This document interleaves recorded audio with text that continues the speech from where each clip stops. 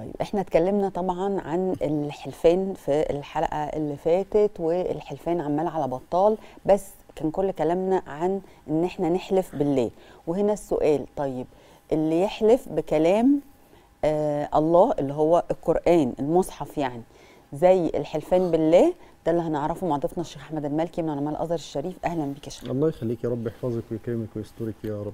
يا رب الستر والصحة والعافية. شيخ أحمد يعني أنا لو قلت والله زي ما أقول المصحف. طيب دي نوضحها. اللهم لا حول ولا قوة إلا بالله. اللهم لا حول ولا قوة إلا بالله. اللهم لا حول ولا قوة إلا بالله. تمم اللهم ما به بدأتنا ولا تسلبنا. اللهم ما أعطيتنا. اللهم أمين. خلينا ناخد معلومة كده. تاني نذكر نقول إن ربنا قال لسيدنا النبي صلى الله عليه وسلم يحلف في ثلاث مواضع في القرآن.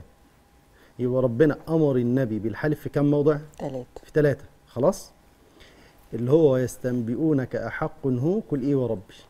خلاص يعني ده, ده الموضع الأول. آه الموضع الثاني بلى لتأتينكم أو لتبعثن. الثلاث مواضع دول في القرآن. طب تعالى في السنة. لما نيجي في السنة هنلاقي لما نبدأ نشوف ونحصي كلام سيدنا النبي والحلف اللي حلفه سيدنا النبي عليه الصلاة والسلام بعض العلماء بيوصل الأمر للنبي كل الحلفان في مجموع السنة بتاع النبي 80 مرة بس فقط. فإحنا الأصل عدم الحلف إلا لإيه؟ إلا لضرورة.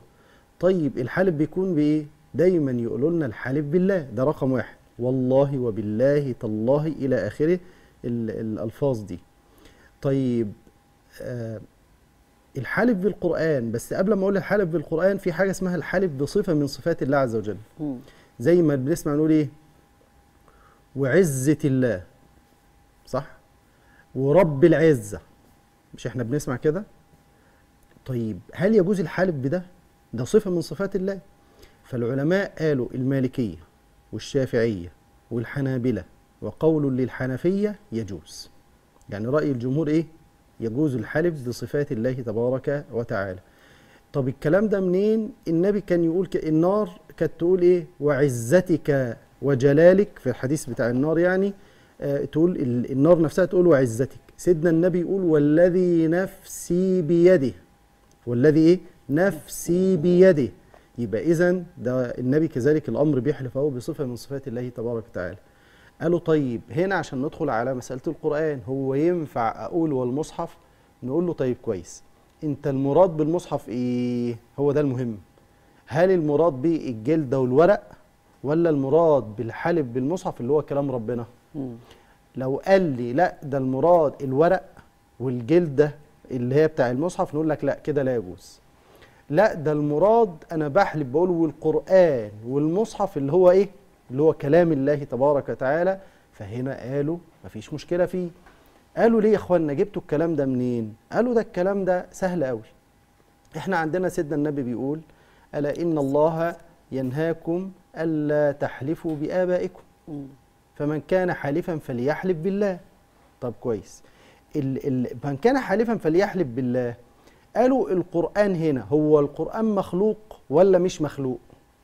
قالوا لا مش مخلوق. مم. كلام الله سبحانه وتعالى ليس مخلوقا. صح. قالوا طب كويس.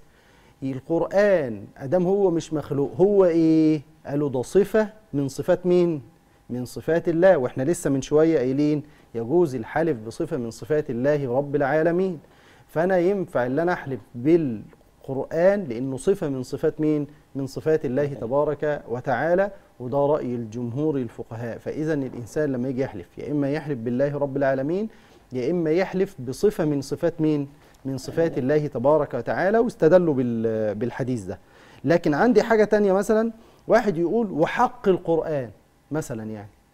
لو واحد قال مش إحنا بنسمع كده؟ يقول لك وحق القرآن يا أخي. فها ده حكمه إيه؟ هنا العلماء لما اتكلموا في المسألة دي اختلفوا. قالوا اليمين تنعقد. طب وده مذهب مين؟ قالوا ده مذهب الشافعية والحنابلة. مذهب الشافعية والحنابلة قالوا آه الحنفية قال لك لا لا تنعقد. واخده بال حضرتك؟ وبعدين بدأوا يتكلموا في المسألة دي بأدلة. لكن واحد لما جه قال والمصحف الشريف ما أنا رايح وحنس في اليمين. الراجل ده يكفر إيه؟ يقعد حلف بالمصحف. عشان الناس بس تنتبه يبقى الحلف بالمصحف يجوز اللي هو كلام الله تعالى. طيب لو واحد حنث. حنس يعني آه، وقع حلف. آه حلف. آه، واليمين بتاعه وقع. آه. زي ما بنقول بالبلدي كده. يعني واحد مثلا قال إيه؟ والله العظيم ما أنت خارجة بره البيت وخرجت بره البيت. مم. تبقى تعمل إيه؟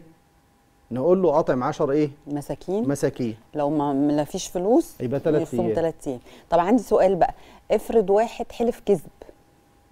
آه. ده إحنا ده إحنا رايحين بقى في اليمين الغموس. ما هو انواع اليمين ده إحنا لسه هنتكلم فيه. ماشي هنتكلم بس فيها في اليمين الغموس ده ملهوش كفارة خالص. تخيلي. استغفر الله العظيم. قالوا قال ليه؟ قالوا اصله اسمه غموس.